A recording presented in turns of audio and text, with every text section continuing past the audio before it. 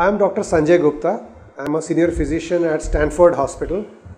I have done my internal medicine specialization about 20 years back. I have been in global research uh, with new medicines and new molecules. I am practicing in Stanford Hospital, Kaikondrahalli for the last two years.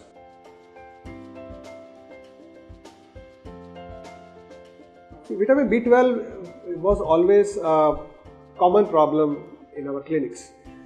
Uh, lately, we are seeing more awareness uh, because of many diagnostic facilities and diagnostic aids. So, it is important to do B12 levels when we are symptomatic. Maybe we don't require a normal package to involve uh, B12 levels unless until you are a you're on a purely vegetarian diet because we know that purely vegetarian diet will suffer with B12 deficiencies. So there are many problems associated with B12 deficiency in the body, whether it is a dietary deficiency or it is a malabsorption.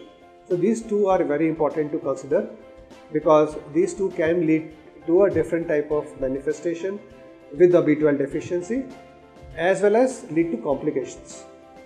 Uh, like I said that within the different manifestations of B12 deficiency, oral ulcer is one of the other common things, but which can happen with mild to moderate B12 deficiency.